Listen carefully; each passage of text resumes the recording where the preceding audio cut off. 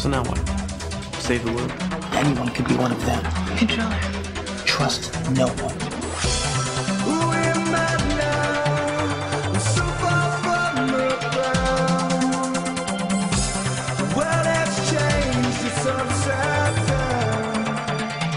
Welcome to Thought Speak, everybody. Uh, we have a special guest tonight. Uh, you might recognize him. This is author and co-creator of Animorphs and the Gone series and BZRK, as well as he has a new book out called Frontlines, which we're going to talk about tonight.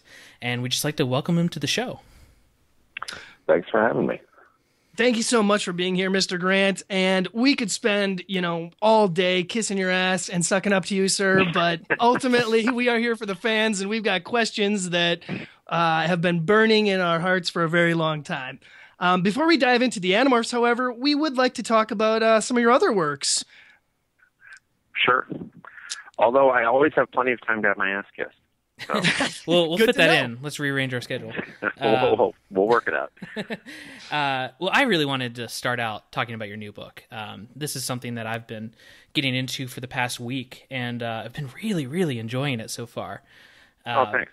Yeah, I mean, it's it's excellent. And um, first off, I mean, what was your what was your reasoning? Why'd you want to write uh, Frontlines? This this book about uh, if women were drafted into World War II. You know, it's weird. Every single time somebody asks me where something came from, I'm I'm almost always at a loss. So lately, I've been trying to pay attention at the beginning of a project and go, okay, now remember this later on. This is how this started. So so I kind of remember.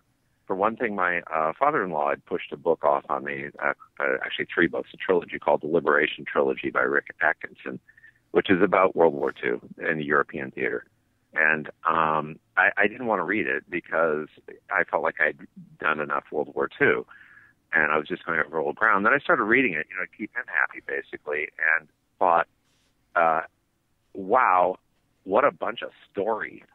You know, and it's just like uh, it's just like finding a chest full of uh, of gold nuggets or something for me because I'm always looking for an interesting story. And then you look at World War II, and my you go, oh my God, it's like a billion stories. It's it's every story you could ever possibly need is all packed into this massive uh, world-changing event. So that was part of it. Uh, part of it is marketing. Um, that uh, basically, in part perhaps because of Rachel from Animorphs, a market grew up, uh, which in young adult for strong female action heroes, action leads. Um, and I've of course written numerous of those down through the years, but um, it, it started to look like we were kind of all getting a little burned out on dystopian approaches to this. Dystopia be, basically being, you know, the world is hopelessly screwed up, and only a 16-year-old girl with a bow and arrow can save it. and and you know, I'm I'm being snarky about it, and these are, you know, I've written that stuff myself, and so have many of my friends. But um, you know, uh, fundamentally, that's what it came down to. And I just was like, uh, we're I'm bored with it. Uh, publishers are bored with it. Uh, I don't know if readers are bored with it, but everybody at the production end of things is bored with it. And so I was thinking, how do I how do I basically continue to feed a market for strong female action characters, and without going dystopic about it? And I thought, oh, wait a minute, here's a thought. And then the third part of it was just I wanted an angle. Um, you know, I, I want a hook. I, if I'm going to write about World War II, it's very hard to stay away from cliche, and it's very hard to avoid, uh, you know, hagiography with it. Um, and I, I wanted to be very real about it, but I wanted to get uh, a different angle on it so that people would pick it up and go, oh, okay, that's yeah, World War II, I get, but this is completely different. On the, you know, and that so that's what I was after. I was after an angle. I was after marketing, um, and I was uh, just thought what a treasure trove of stuff to write about. Well, I think one of uh, two of my favorite parts of the book are just how, um, even though you have this hook, you have this alternate history. I think a lot of people might expect even more like sci-fi elements or, or something to kind of creep in. And what I've enjoyed so far is that it's a very straightforward, very realistic World War II drama with this one change. It's almost like um, to bring Animorphs into it a little bit. Um, In the Ellimist Chronicles, their game was to change one thing as small as possible and then Right. have that go forth and, and, and change the evolution of a species of this alien game they were playing. And um, that's what it is. Everything else is, is is World War II, but you have this hook, this this drama that these women were such a big part of it that they weren't before. Um, and as well, the Yeah, that was That's exactly how I'm writing it. I'm writing it as though um, as though this change has no other impact. In other words, that the war goes goes ahead precisely as it went ahead. So mm-hmm. the history remains the history. We're not going to have a surprise ending where you know Hitler wins. Uh, it's still going to be. I'm, I'm still following the actual history uh, as closely as I know how without being a professional, um, you know, an actual historian mm-hmm. or even educated. But given those given those limitations, thanks to uh, books, uh, the Google and uh, Wikipedia, and a whole lot of other things, um, YouTube in particular. Um, I've got access to like so much research, so much data. It just, it's again, it, the, the problem with dealing with any kind of World War II story is that it it wants to keep getting bigger. So I thought if I go at this, what I'm going to do is basically write about a platoon. And in that, I was kind of channeling the old uh, TV show Combat mm-hmm. from a million years ago. But then that was also, by the way, part of the inspiration for Animorphs was Combat. It was a show with Vic Morrow back in I don't know the '60s probably, and every week this little platoon in France of American soldiers, you know, after D-Day, post D-Day, would have a little mission and have a little moment and you know shoot somebody or get shot or you know rescue a, a French woman from being uh, attacked by beastly Germans or you know whatever the story mm-hmm. was. And that was kind of our approach with Animorphs. And I thought, I'm doing the same thing with this. I'm going to focus tightly on these three women, basically, and the, the men and women around them to a lesser extent, but essentially these three main plot lines. And I'm going to just stick to it rigidly, and I'm not going to let it get away from me. But within that context, I'm going to do is I'm going to have as much fun as I can. So I'm going to insert some Zelig like into all kinds of situations where that are plausible in terms of the in terms of the calendar, but which aren't specifically historical, if you know what I mean. So they were at the Battle of Kasserine. They'll be at the Battle of Monte Cassino. Mm-hmm. Um, I, I won't have them. I can't have them at Anzio because Anzio conflicts with D-Day in yeah. terms of timing. So that kind of thing I stick with. I'm I'm historically accurate. Nevertheless, there's a certain fluidity in where they happen to show up, you know, on the battlefield. So they'll they'll be at the, they'll, they'll tend to show up the worst. That's the worst thing. So you're not going to trap Hitler in a theater fire. No, I, I you know, I um, I, I think that that first of all, I I have a really profound respect for history. And speaking of Animorphs, we wove history in repeatedly into there. I, I know there was at least oh, one. God, my my memory isn't that great, but I know we uh, we dealt with the uh, kill Hitler uh, thing at some point. Um, yep. in, in one of the long form books. Yeah, could be. Um, so I've always cared about history, and I have a lot of respect for it, and I I want, insofar as I can, to teach it in in this book accurately, even though it's a book about an alternate history. The other major change I made, by the way, is I advanced the combat role of black troops into earlier in the war.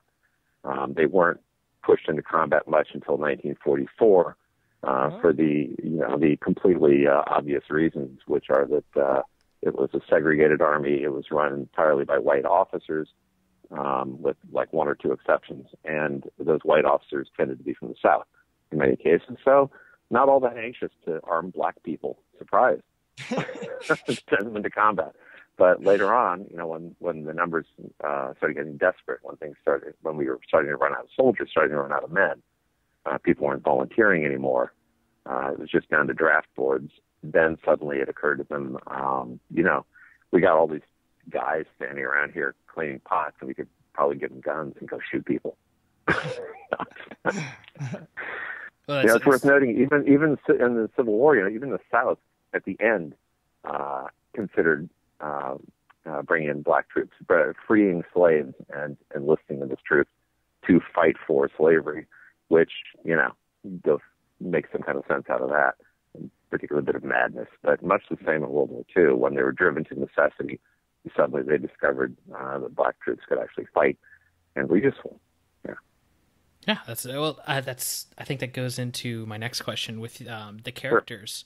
Sure. Is I think throughout your series that you've written, um, you have this core group of main characters who really mm-hmm. feel like different people. I think that's that's incredibly hard as a reader and as a very early starting out as a writer um, to not have every single character have your same voice and i think frontlines is very specific in that that these feel like three girls who are completely different, grew up completely differently, and and don't feel like they're all Michael Grant speaking, you know, through their mouths. So it is. I, I assume that's incredibly I, important to you. I, I try really hard uh, to avoid inserting myself in my books, which is weird because anybody who knows me will tell you I'm a huge egomaniac uh, in real life. You know, I'm the guy who will start telling a story on an elevator and you know hoping that everybody listens. I'm I'm that kind of an asshole sometimes. but in my in my books, it's just the opposite. I don't want anybody paying attention to me. And every now and then I'll get something like, "No, your prose is so simplistic." And I go, "I know." It's deliberate. I could absolutely make it more baroque. I could make it more complex. I could spend more time on descriptions. But every time I do that, I feel like I'm saying, "Look at me," and I don't want you to look at me. I want you to look at the characters. So if you're reaching a point in the book and you go, "Wow, that's a that's a hell of a metaphor, Michael," then I'll feel like I've failed, you know, because I, that's not the point. The point is, here's the story. Listen to the story. Pay attention to the story. Care about the characters. But and it's nice. It's really nice that people are uh, almost almost everybody is uh, very um, kind in describing my characters as being as having unique voices, and I have literally no idea how that's accomplished. like any good writer knows. especially because I, I don't really I don't have friends. I don't know people. Uh, you know, Katherine's been my only friend for. Uh, which I got now it sounds pathetic, but I'm an introvert, so it's not. But Katherine Applegate, my wife, has been my friend for you know 36, whatever it is, 37 years. Um, and neither of us has really had another friend outside of each other. I think she's got you know like half a friend. Uh, I don't. and I have I've I had one guy who was a friend for a while until we until I hated him. Um, that's beside the point. You know, so I'm not like you know some guy who's going, oh, I'm going to use Joe in this next scene. I'm going to take his voice. That's just not it. Um, yeah. I just make him up out of whole cloth. Well, I think it, sh- it really shows that you you care about Oh, doing thanks. that, even if you don't know how you do it.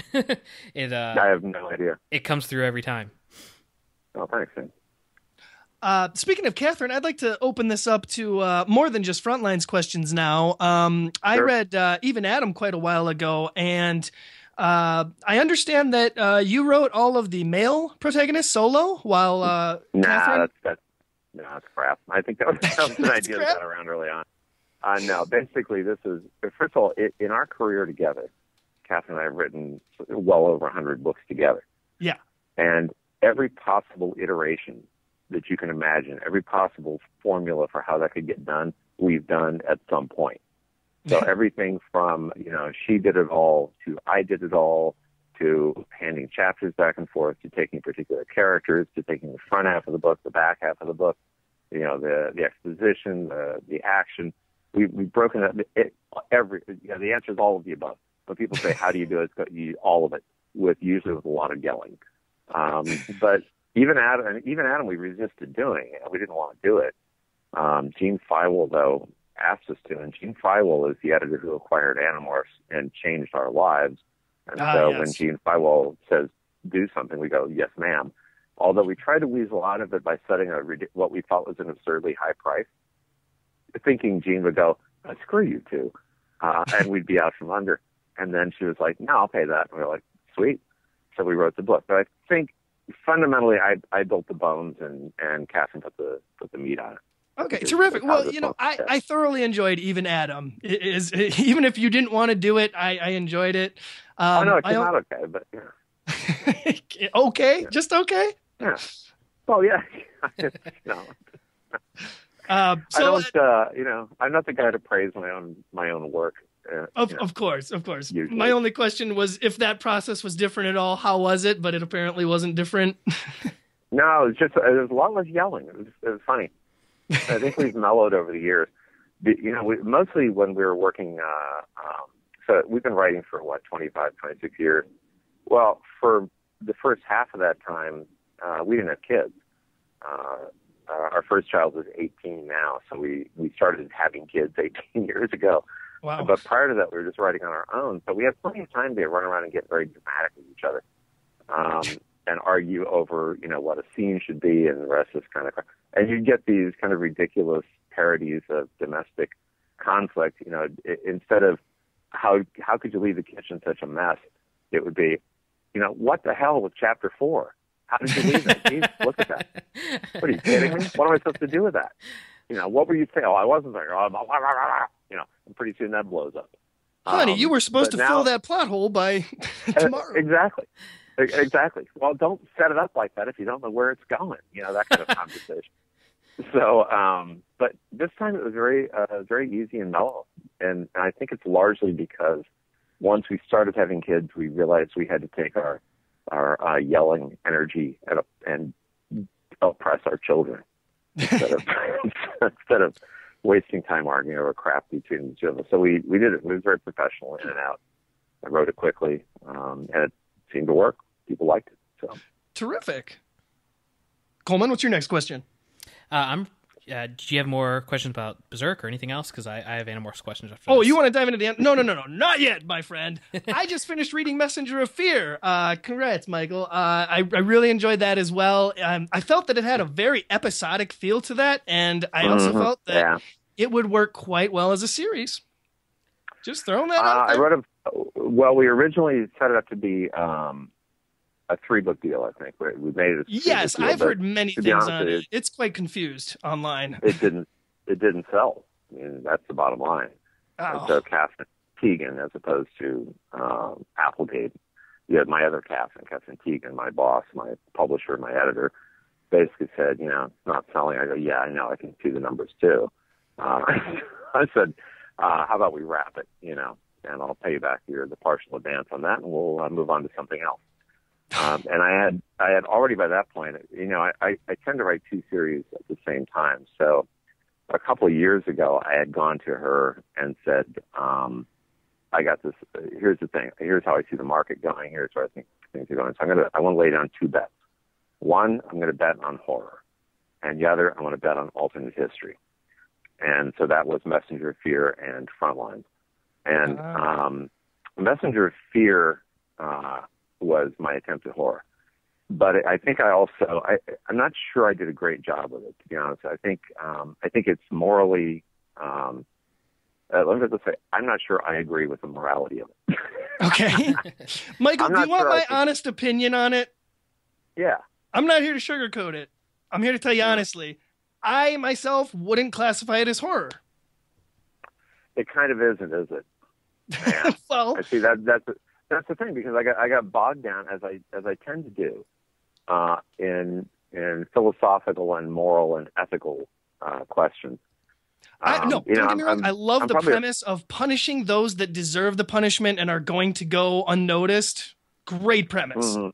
And I love the backstory fine. uh, that you set up with the gods. Yeah. I want to know more about it. Well, well, I got those too, but that I think it, it, we kind of mostly wrapped it up, and and I don't know, it's starting to pick up a little bit now in, in its kind of afterlife, um, which happens sometimes with my books. It takes a while before they catch on. Um, they don't come right out of the gate hot necessarily, but over time they kind of build. and People go, after all, like, oh yeah, I see what he was thinking there. Like I still get people reading BZRK, and BZRK Yes. sold for sold for shit when it came out. Um, not for lack of trying on the publisher's part or uh, Barnes and Noble backed it. I mean, a lot of people did. It just didn't sell very well because Well- it's just such a strange piece of work. I mean, it's- exactly. um, I Yeah. read it, and uh, frankly, I'm terrified of nanobots now. mm, I wanted to know what kind of research you put into all that uh, stuff, and how likely is this gray goo scenario? disturbing, uh, disturbing amounts of research. Mostly, um, I looked at scanning electron microscope pictures of various microflora and microfauna living on and uh, around the human body. Terrifying And, you know, you- creatures. But yeah, you spend enough hours of the day looking at that, and then you have to kind of get down in that that mindset, you know, where where okay, this is real now. I'm actually buying into this, you know, and and trying to tell myself at the same time not to be creeped out by it all. Well, I'm sorry, but if you're looking at a mite that lives in your eyelashes um, and watching, looking at video of it over and over again, so you can describe it, and thinking, yeah, that's living right now in the eye that I'm actually looking through to look at this picture. Um, that gets you. That can get a little strange. Oh, some of the most um, disturbing imagery of the human body, certainly. Yeah, it's it's it's gross stuff, and of course, it's my job to make it grosser still, to expand upon the expand upon the weirdness. But um, it also BZRK, you know, not to get too inside baseball, but I violate core, you know, approaches to YA. I certainly, um, you know, I, it, it reads much more like a like a standard adult science fiction novel. Oh, the plane crash in the beginning? Are you kidding me? I was like, how is this Yeah, young and- adult? and the romance is understated. Um, you know, characters are killed off, you know, in my usual style. And everybody's a little, and the, the multiple names thing and the confusion of identity, the confusion of reality, I think ends up making the characters hard to attach to because there's a there's an uncertainty introduced into everything. You never know who to trust, who to believe, or what's going to happen, uh, even what side anybody's on half the time. So it was, uh, yeah, I think it was. I think maybe it was. Uh, maybe it'll have a second life somehow. If something can sneak it around the corner into adult science fiction shelves, I think it would probably do better. Certainly. I think it was uh, the wrong thing for for YA. It was too far into into you know weird Michael. Sure. You know, we could ask you tons and tons of questions about the Gone series, one of your most popular Mm-hmm. series, but the sad truth, Michael, is that neither of us have read Gone yet. And we're getting to it. Honestly, we could It's do only- another we could do a whole other 3,000 podcast on Gone. long. It's only three thousand pages long, dude. You got to get get started on that. It's Uh, in here- here's what I'll say about here's what I'll say about Gone. We both knew, Katherine and I, both felt we screwed up the ending to Animorphs. Um, and we know why we did it, and it was satisfying to us. But readers, I'd say about 90% of readers really hated it. So I was determined not to do that again. And I thought, okay, wait a minute, you you got to do something here, Michael, which is recognize that you're not in this alone. The readers are in it too. This isn't just what makes you happy. You got to also think about delivering a satisfying experience to the reader, and and wrap the thing. Well, Well, I don't plan, you know, so everything with me is improv. I make everything up every day with no for planning. So it was a nerve wracking job to figure out could I, at the end of 3,000 pages, wrap up all these plot threads and all these characters and all these events, 3,000 pages worth of stuff, and make it all make sense.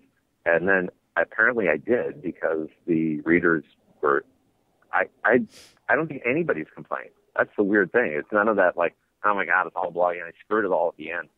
Um, everybody's been happy with the ending. And so then I felt like, okay, well, that's good. I've redeemed the Animorphs ending by, by ending a series in an appropriate and intelligent and uh, competent way. Yeah. Well, I don't think it's I don't think it's terrible though that um, with Animorphs, you said you know like ninety percent of the audience uh, thinks she's, that ending was screwed up, but it's not because they thought it was bad. They just wanted more. Just, I mean, that's a kind of a compliment that people just were really interested in the ending of Animorphs and and wanted to see where it where it went. Well, the odd thing was we were leaving it open. Um, you know, at the end when they when they turned the ship around and they they charged basically, um, and, and somebody got this the other day on Reddit, and it, I did it read at AMA the other day, and um, I don't think anybody had ever said this before, and I'd of course forgotten about it. I guarantee you, Katherine's forgotten about it, but it was a deliberate callback to an earlier event uh, in which Elfangor, I believe, uh, does exactly the same thing. Basically, turns the ship around and goes. So Accidental kind of a callback? little- a little it was a little sly wink. We, we I knew that was in the in the background of the you know in the backstory of the series, and I thought, well, a lot of people would get you know that that this is probably not the end.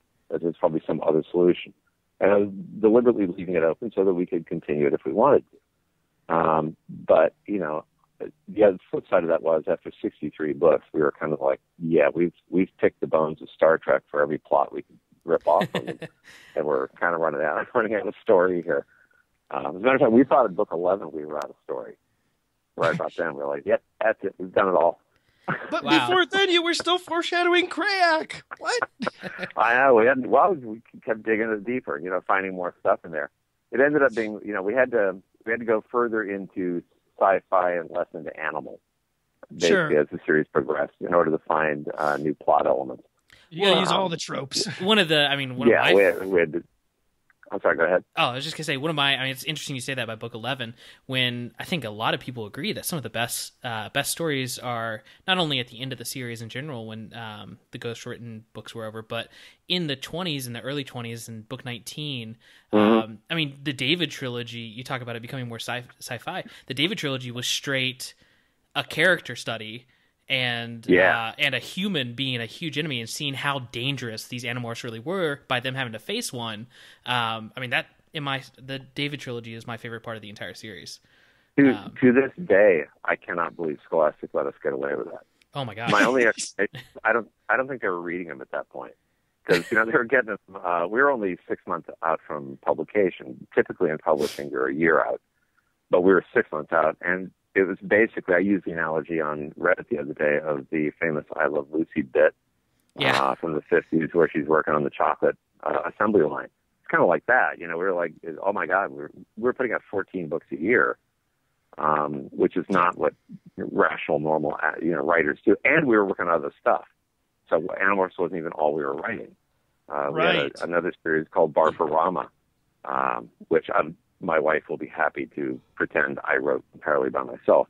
And I did write most of it, but um, but that was going on simultaneously. I'd, I'd work on Animorphs in the morning and then go work on Barf-O-Rama at night for a Oh, long wow. time. And then Everworld was in Everworld was in the mix toward the end uh, as we were trying to get you know trying to get uh, a YA uh, series going. So yeah, we're we're producing I don't know between the two of us probably you know 16, 18 books a year. So there wasn't a lot of time for second guessing or screwing around on Scholastic's part or ours. So I think by that point they were just like, yeah, kids trapped in a box as a rat. Okay, sure, why not? you know, going back to that ending there, I have to ask you, sir, if if you had given any consideration to uh, this this theory my co-host came up with, which was a, a humane way to have ended the David situation uh, by making him more f- maybe a dog and sticking him with the Chee, perhaps. Yeah, that would have been a much more humane way. But would it have stuck with you for years and years like the rat thing did? Oh, exactly, No. exactly.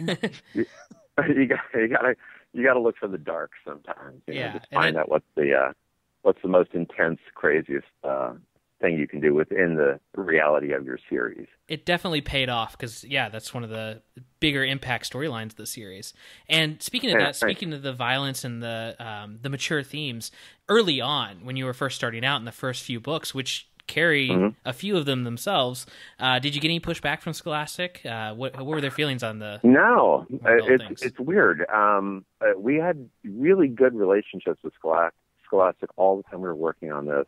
Um, at, to such an extent that you know the the ghosting operation when we finally when we finally went to ghostwriting uh, was largely run by our editor working for us.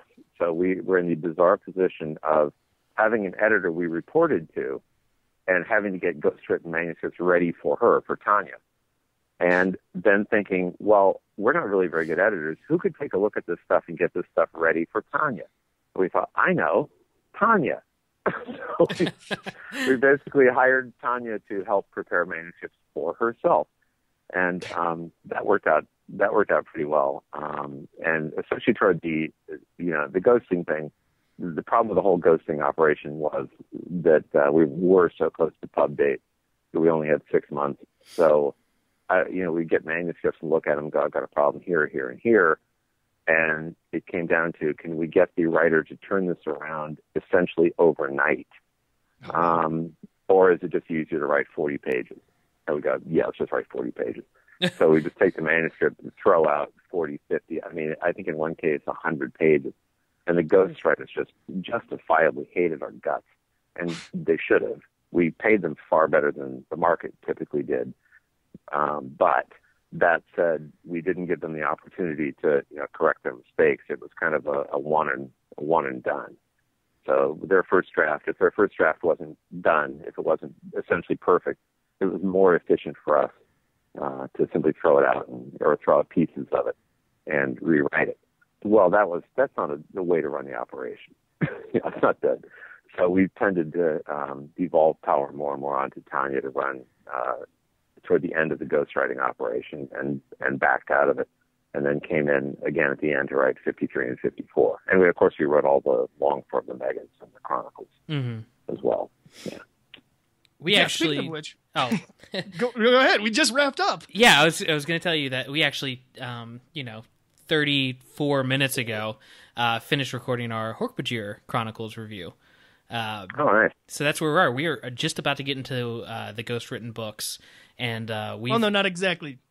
We're close. We've We're got close, two yeah. more books. and uh, but was- we we've I never was read happy most with of them. Hork Chronicles. We liked Hork-Bajir Chronicles. We thought we did. Uh, we we enjoyed doing that because it was um, because it had gone off in this.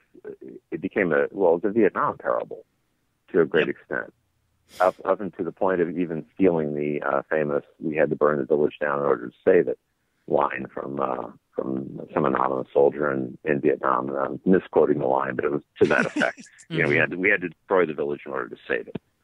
So I I think that's even included in there in some mutated form.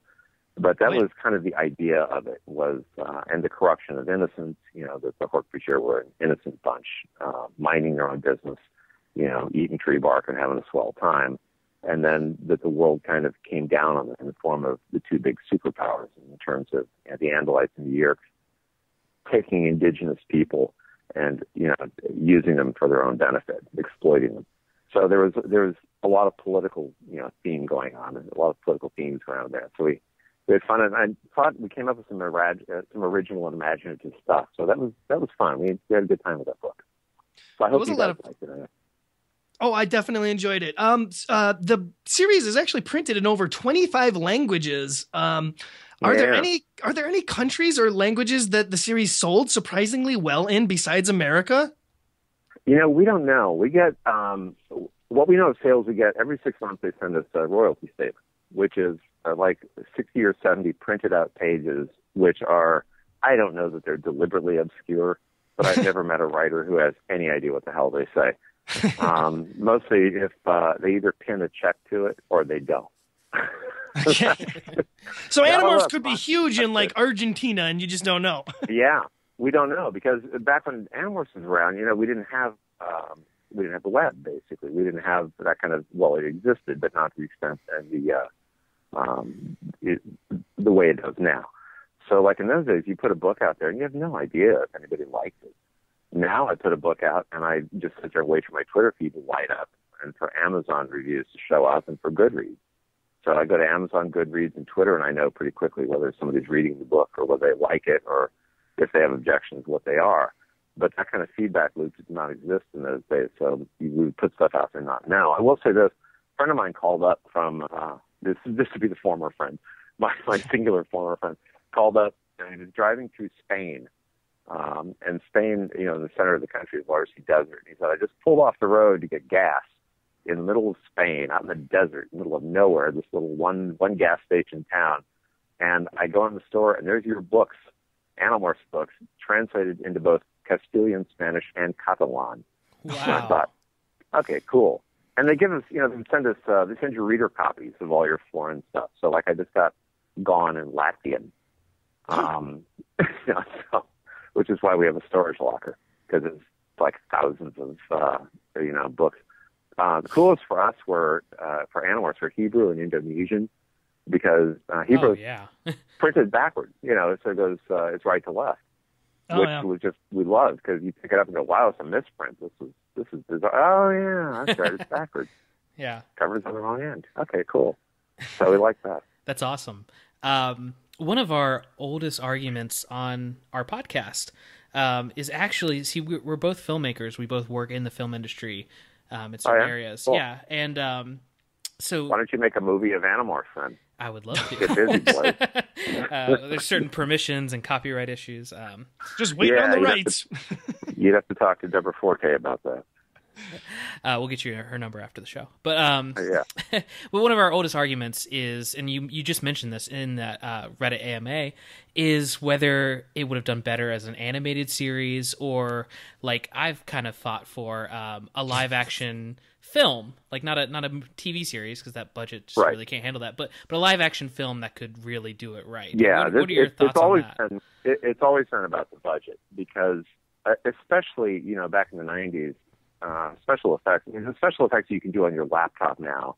In those days, you know, would have taken uh, you know 200 computers grinding away, Mhm. you know, rendering for 500 hours to get anything, and you know we can crank it out on a, on a Mac laptop now. And so it's a, a lot harder to get and a lot more expensive. Well, you know, and then there's underage actors under Hollywood rules, that means you have to have a tutor on the set. You can only work a certain number of hours a day, blah, blah, blah.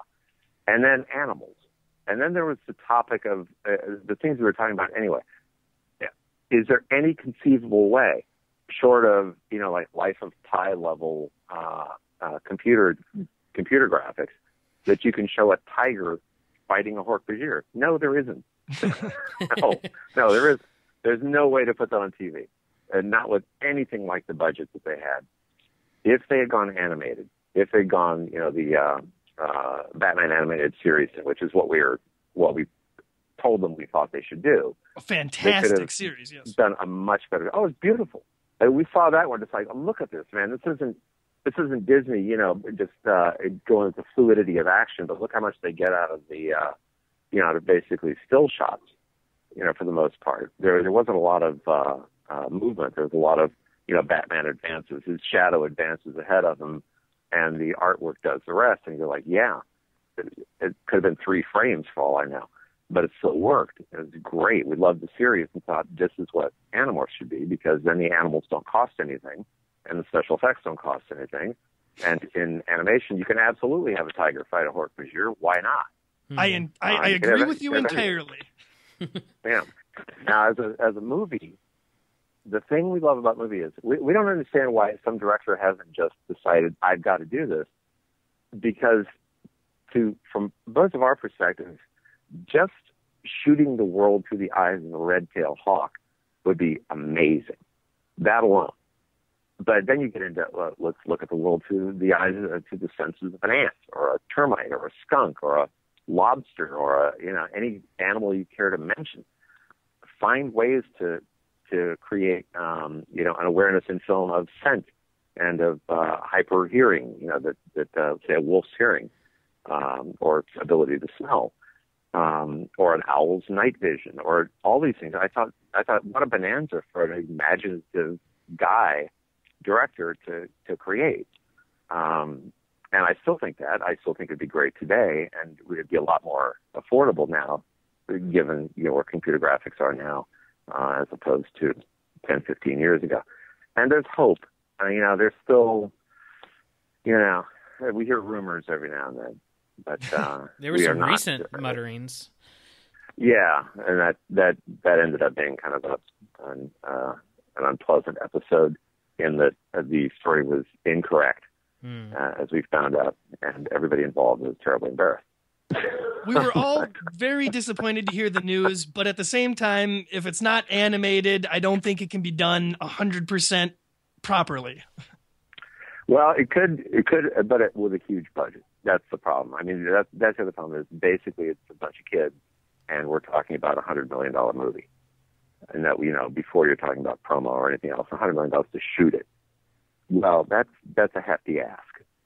Um, it's a lot more expensive even than like a Divergent movie or a Twilight movie or one of those. And you think about it, just like every fucking shot would be special effects. and uh, and you still have the problem with kid actors, and you got the problem with whether or not the demographics work, you know, in terms of sales. So I can I can talk the thing down, but uh, we've also told them if look if you need to age the kids up by a few years, that's cool with us, um, and we understand that uh, you know we're, we're we're really not egomaniacs about uh, Hollywood development. We're not those people going in and going, it has to be every word we've said uh, has to be you know kept exactly intact. We understand movie making is fundamentally different than book writing, and that they have limitations that we don't, but that they also have you know possibilities that we don't perhaps or may not have thought about. So we're very you know high on the idea. We'd love somebody to do it if Well- they do it decently with a with a good budget. We've know? seen- or yeah, as you point out, animated. Yeah. Get Brad Bird to do an animated version of it. I'd love it. Yeah. Well, we've seen recently um, that sometimes all it takes is a good show reel or a teaser trailer or something. Look at Deadpool. Deadpool was non-existent until they made just that random teaser that leaked on, you know, quote unquote leaked online, and then they got the Ah. budget for a fifty-eight million dollar movie. Um, so Yeah, have you seen it? I just saw it. I thought it was pretty good. yeah, I saw I that. I it saw four last out of five stars. Yeah, it was it was way better than I thought it was going to be. It kind of some of the trailers I think undersold it. Sorry, guys, haven't seen it. No spoilers. Deadpool lives. How about that? There's, there's your spoiler. He's That's the surprised, ultimate surprised the hero doesn't die. Uh, I Real liked it, quick, though. Michael, I know that uh, Katherine has lived in Minnesota. Um, I don't know if you know this, but that's where I live currently. Uh, where did she live? Well, we lived uh, together, and uh, we're writing uh, Animorphs here, and our and our first kid was born there. Oh Uh, wow! and we lived down. We lived uh, to begin with downtown Minnesota, downtown Minneapolis, in um, Symphony Place, I think it's called, an apartment complex that is attached to right next to the Hilton and attached to the Skyway. oh yeah. and okay. we love we love the Skyway. It was like, oh, okay, this is making Minnesota tolerable. Oh, exactly. And- That's how you get Uh, around like, in the cold. we could actually walk around. You know, we could like wear socks or something and go to our bank if we wanted to, or you know, go down to the department stores. And we lived, then lived uh, right next to it, basically in Marquette Place, which is another apartment complex. Right. And then we had the kid, and thought, well, we need to go be in a house because don't you have to have a house when you have a kid? And we rented a house out in um, one of the suburbs. I can't remember which one, Minnetonka. And oh yeah, after about six months, we were kind of looking around, why the fuck are we here? because it's a lovely in place, Michael. we're in Minnetonka, for God's sake. We're not even in Minneapolis, and we're now we're in Minnetonka. So we moved to Chicago, and we had also by that point um, become uh, Animorphs money was rolling in, and we were, you know, we weren't poor anymore. We'd been, yeah, you're living like kings. yeah, we had been desperately poor. You know, most of our relationships, Katherine, and I were, when we first when we sold our first book, we were cleaning toilets for a living. We were not, you know, we were not doing well, and then uh, we kind of worked our way up out of that, and we're doing okay, uh, but still, you know, it's paycheck to paycheck, book to book, until Animorphs hit, and then suddenly it was just it, it was insane. you know, so, yeah, I bet. oh, especially with course- all that of course we can buy a merchandising money rolling in. oh, we got nothing off merch. well, Ever. you know, I wanted No, to know what your is- favorite merch pers- tied to- piece of merch was. merch was tied to the uh it was in a basket with the uh with the TV series. So in other words, it was Ah. never go- it was never going to earn out. We were never going to see a penny out of it. Those Transformers toys, we never saw a dime, and we never will. I'm sorry, I bought Yeah, those no. trying to support you, and uh, Well, they were cool. you, you want to know a cool story? You want to know something weird about that? When we first started Animorphs, you know, uh, when we were just like had written the first couple of books, uh, we were in Target, Katherine and I, and I said, you know, we're going to get uh, we're going to get a line of Transformers out of this. I bet. Seriously. and then she, she, of course, goes, "What's a transformer?" Um, and I, I almost divorced her. Uh, decided not to. It was, it was almost as shocking as many years later when the first uh, Iron Man movie came out, and I said, uh, "Oh, I, I got to go see Iron Man." And she looks at me and goes, "What's an Iron Man?" It's like, are, are, It's a you song by Ozzy Osbourne. Are you are you seriously fucking with me at this point? You, know, you don't know who, who. It's not a what. It's a who. Tony Stark, for God's sake. Do you know nothing? so it's one of those one of those uh, you know, nerd, unregular person violence Yeah. on my part. What the hell? What do you Yeah. mean? Yeah. Speaking of wives, I was um I promised my wife I would ask you a question. I, I told her it'd probably been asked quite a few times, but she really wanted me to ask you this. Uh, if you could morph any animal, what would you uh Oh gosh, what would you morph? the would be- cliche of cliche questions. No, it's got to be. It would be something that flies. I think. Uh, I, I it would be some one of the birds of prey, probably a red-tailed hawk, just because you know red tails have been very, very good to us. Yeah. Um, sure. And I mentioned this on Reddit the other day, but we we have one here. So really? I'm actually sitting. I'm sitting on my deck here. Uh, this is in Tiburon, which is a um, uh, a little community. community. It's a, it's a bunch of rich white people, basically. Uh, many of whom own yachts. We're not those people, but we live here anyway. So we live uh, uh, on the side of a hill, and right now I'm looking out over San Francisco Bay and the cities over there, and there's jets flying overhead, and Angel Island and Alcatraz, and all this, and the Bay Bridge off in the distance. Um, and so there's kind of a drop. I guess it's probably about two, 300 feet between us and town down below us. And a red tail comes around uh, a couple times a week and just kind of floats right around my eye level out here, doing his thing, man, riding the thermals, looking for a mouse. The thermals. You know how I Whatever learned about thermals? it was from you. I we learned about it from us too. We had no idea until we read a book about hawks. And like, ah, okay, that's what they're doing. yeah. yeah, they goes. He goes out. Uh, he, I assume it's a he. Um, once I saw him with somebody. There was another uh, red tail, uh, who of course we immediately nicknamed Rachel. If you go with, uh, with Tobias. And then they fought to the death. That would have been cool. Every now and then the crows and, and the red tail get into it. But mostly it's the red tail and then the buzzards, you know, fly around. The buzzards don't seem to care about and the red tails seem to not be not be competing. But the crows are not happy about the hawk. Yeah. Um, so I think you mentioned uh, once on Twitter um, that uh, you guys do have some sort of control on whether Animorphs continues um, in some capacity. Would you ever be open to another author taking on the series, or would you guys be pretty hard pressed about that? I don't know. Um, the bigger issue would be Scholastic, of course, because Yeah. they've got rights in this too. Uh, and you know they tried the relaunch, which didn't go anywhere. Um, they, you know they did a reprint of what the first six books, seven books, whatever it was, and that just, it just did not catch on. Yeah. Um, what I want to do with it actually is get back the electronic rights and put it all up online for you know I don't know as cheap as we can, uh, cover costs, just to keep the stuff out there. It, one of the one of the great things about digital publishing, and as, as scared as we all were in the industry of it, it it it has a couple of interesting benefits. One is if you're digital, there's no such thing as out of print. So if you're a print book, you go into Barnes and Noble and they basically put a clock on it and go, you know, has it sold? Has it sold? No, it hasn't. Fuck it, it's out of here. And it's never heard from again. It just disappears down the memory hole and into used bookstores.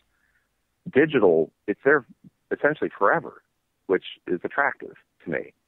And um, and and- you don't have to worry about having you know more than three books, four books on the shelf. You're not competing for space. That's part of the problem with the Animorphs model now is the publishers don't want uh, series clogging up space with backlists, basically, Mhm. right? So they don't mind book 17 out there. They don't want books 1 through 17 sitting there. It takes up a lot of shelf space. Yeah. But in the digital space, there is no space limitation. So we're not we're not all competing for X number of linear feet of shelf space. We there's no competition for space. There's competition for attention, but that's different. I mean, stuff can sit out there essentially forever, um, which and and as many of them as we want. So we'd like to get back digital on this, and we're kind of half-assedly talking to Scholastic about it, just so we can put it out there and you know put it out for 99 cents a book or whatever. You know. We've all been surprised though that uh, YA and middle grade has not has not embraced digital at all, basically. Yeah. Huh. Well, about Yeah. that um about that re-release of Animorphs, I mean, it didn't seem like they Mhm. really marketed it. I mean, they put it out there and and they tried to you know update the covers, and obviously a lot of the references uh, were updated, which I didn't think mattered. I don't think a '90s period piece is that horrible of a thing, but uh, yeah, I mean, yeah. But I mean, it, it made them it made them happy, so whatever. yeah, um, yeah, well, part of it is we couldn't really promote it, and we couldn't really promote it because we didn't. It wasn't worked into our schedule. So Katherine, in particular, was doing Ivan, and was promoting that. You know, that, that's what she was involved with, um, and didn't have time to go out on the road to do animals. And Mhm. we weren't sure, you know, how much of a commitment there would be from Scholastic. It's really, uh, you know, expensive to have um, either of us out on the road. Uh, when they put me on a book tour, that's that's a costly bit of work yeah, for somebody, and for for extremely limited gain, to the best of my you know awareness anyway. So you know, it, you know, I don't fly coach anymore. So not, they don't. I don't. I don't take the middle seat in the back of the plane for you know 190 dollars. I get the seat up front for 800 dollars. So it's a lot more pricey keeping us out there. So And had Scholastic that, never uh, they felt it was worth it. Had Scholastic never considered uh, the possibility of releasing maybe like a Animorphs collection, like several books collected into one volume? I, I yeah, I, I they're called bind ups. I think in the business they just did that. It's interesting because uh, we, we did it with uh, an earlier series of ours. Um, must be Simon. Is that Simon? No, it was, it was Harper kind of thing. Uh, called Boyfriend's Girlfriend, which we'd written before Animorphs, and has now been was re-released first as Making Out, and then it was re-released now as a bind up called The Islanders. Um, and that's gone nowhere. So we Yeah. don't, we don't, we don't know, we don't know the economics of this or how much any of it makes sense. But in terms of, of sheer promo, well, we never did any promo for Animorphs the first time around because when, you know, were we going to go out on the road? We were like putting out like you know 15, 16, 18 books a year. Yeah, and they would say, you know, they would offer, send us out. And would you like to do some events? Would you like to come to New York and hang out with us? They're like, no, we don't really want to talk to people or hang out. You with couldn't people." even enjoy your fame. No, there was there wasn't during it. It was after. That's part of the reason we quit. It was like, Jesus, we got all this money now. We should like take time off and go do stuff. Um, so we did that. Well, I think I think uh, you know all of your fans and everything are lucky that you guys are both putting out. I mean, just amazing work that's non-Animorphs related. So um, at least we have Well, that. thanks. Yeah, we always knew. Uh, I always knew Katherine had another gear. You know that she um, that that she could do something like Ivan or like Crenshaw, her two most recent books, or Home of the Brave before them, where she can write, uh, frankly, literary kind of stuff. You know, and she's that's the more the writer she's always been underneath it all. The Mhm. person she wanted to be when she grew up was a person who um, obsesses over every sentence and you know and is careful about her word choices and rhythm and metaphor and simile and all the stuff that uh, you know that when you're producing a book every three weeks you don't have a lot of time. But we used to joke, you know, you got it's like a timer. You know, we've got a simile here. You know, the the rock was like a like a like a okay, time's up. Screw it. It's like a rock. That's what it's like. Move on. you know, there's not a, not a lot of time for sitting there picking the mot juste and getting everything exactly exactly perfect and squared away. but she always wanted to be able to write like that, and uh, now she is. And um, it was funny because we actually um, had a kind of tongue-in-cheek plan for her to win the Newbery, and then she actually went out and did it. Yeah. is kind of like okay then, alrighty.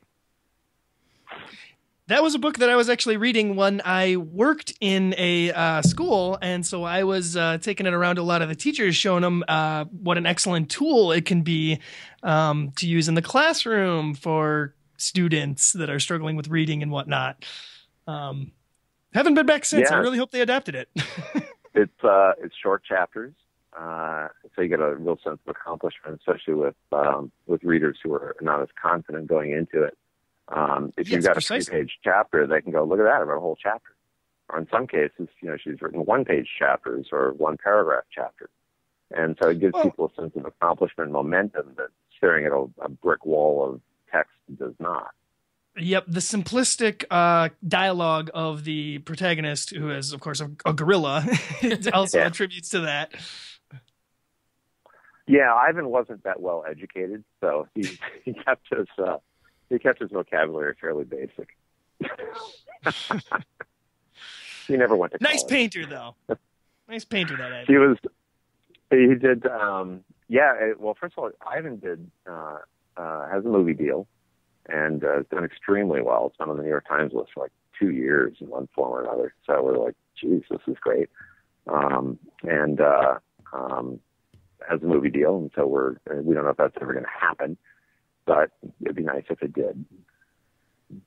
Well, maybe it'll be out in time uh, for me to have my first child and take them to see it. There you go.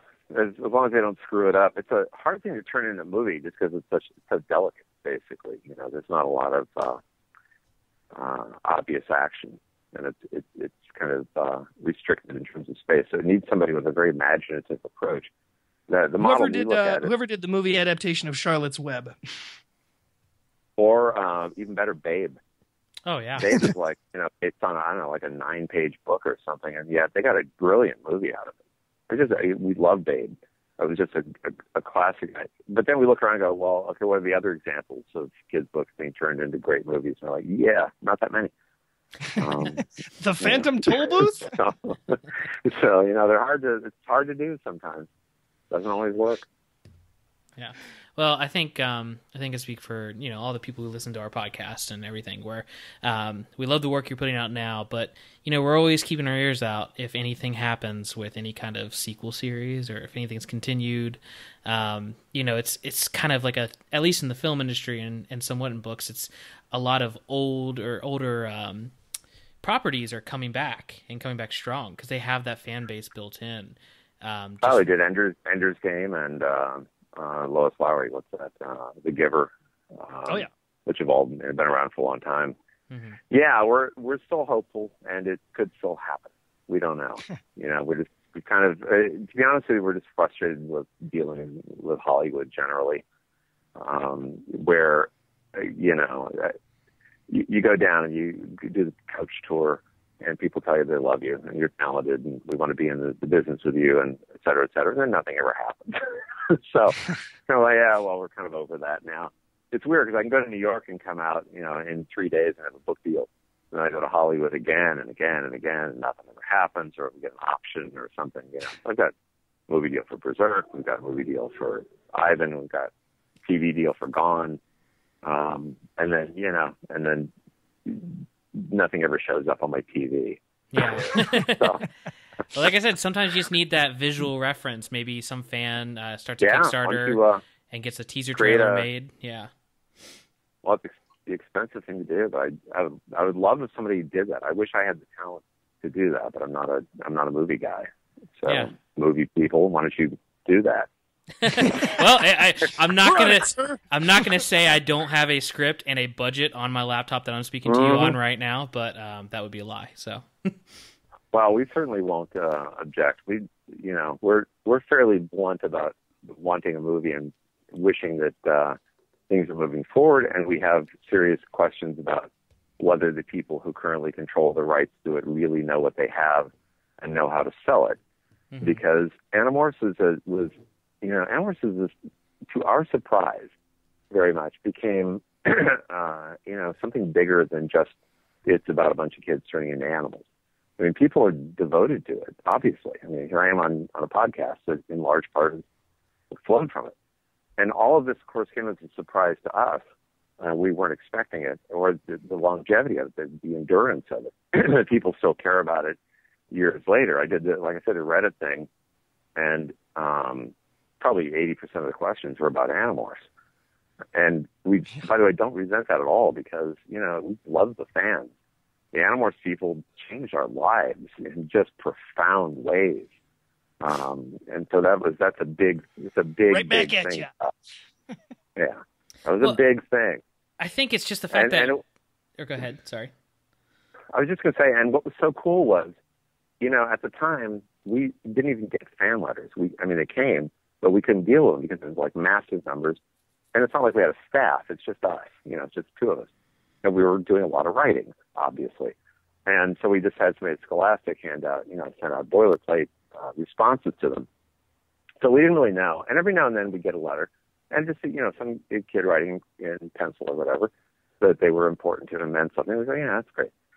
It wasn't until years later that when we meet the grown-up Animorphs fans, and it's a point where they're now college kids, and they would come up. Uh, we do an event, or something, or Katherine would do an event, and they would come up with just like tears draining down their faces, just you know shaking, and we're like, oh my god, this is like, and and we get letters from people going, I learned philosophy from Animorphs. I I have decided to you know take a job pursuing social justice because of the Animorphs and we're just like kind of overwhelmed by this. You know, it's kind of you don't expect it because we're just these two dumbasses writing a you know a bunch of books, trying to make a living, and that then it has an effect out there in the real world. I know it seems naive that that, that we wouldn't expect it to have an effect out there in the real world, but you kind of don't think in those terms, or at least we don't.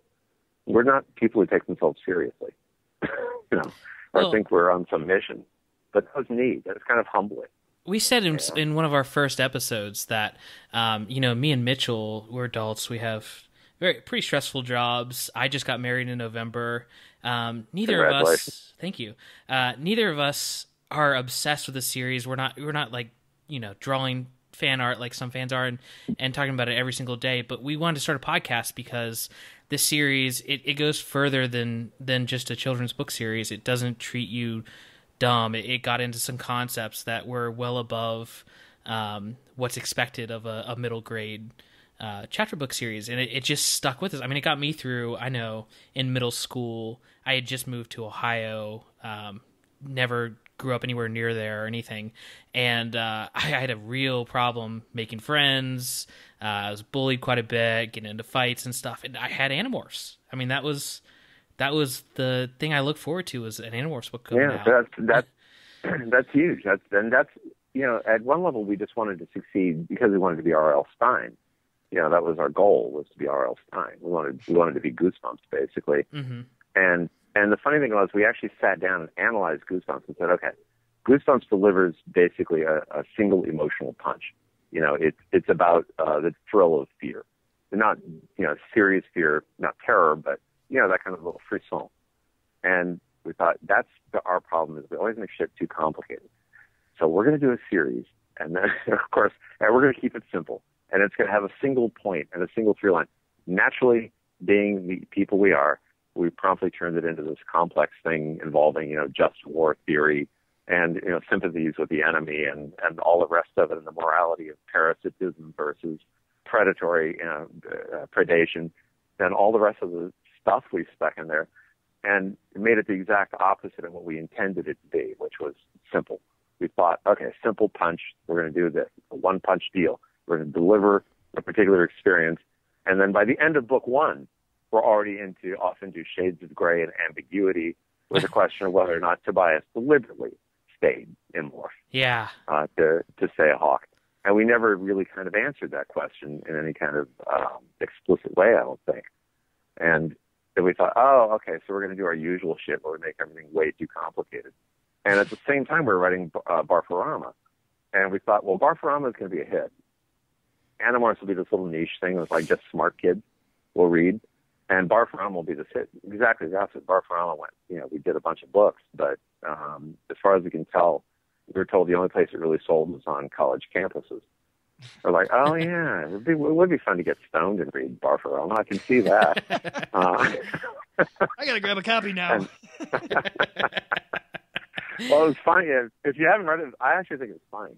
It was I, we had mostly me, but we had a good time with it, just because um, they more or less said, uh, "We said, well, how how creepy, how, you know, how sickening should we get?" They go, "Oh, you know, do whatever you want to do." Well, don't tell us that, Jesus. Uh, naturally, it's it's as nauseating as we can possibly make it. Um, and yet hopefully, you know, hopefully entertaining or funny if if you're sufficiently high. I think it's probably pretty Sufficiently. Yeah. Well, Yeah, personally, thank you for making Animorphs complicated and, and going crazy with it because it's it's incredibly important to me and it got me through some hard times. So oh, good. That's that's very cool to hear. It's it remains extremely gratifying that people care about it and that people uh, enjoyed it, and that, and especially so that people think that their lives were improved by it. So neat. Yes, I think Yeah, it, it, nice. it happened to happen during a time when we were so impressionable, and this is when I was just starting out, just learning to read, uh, probably third, fourth grade. Oh, I guess sorry, I didn't. I wasn't reading, learning to read around then, but Yeah. this is when I was really getting into reading, and your books, Right. along with Mr. Stine's, as you mentioned, uh, Yeah. greatly contributed to that. I would even go as far as to say, is they're the reason that I myself am a writer today. Um, well, congratulations on being a writer, or condolences, depending. Uh, what do you write? Uh, I have uh, just released my third book in my uh, own young adult series entitled uh, The Devil Ash Saga. It is about Cool. a half human, half devil who is trapped in hell and trying as hard as he can to escape. Oh, interesting. I've been wanting. I've, I've had this idea in the back of my head for probably ten years, uh, which I call CEO of Hell.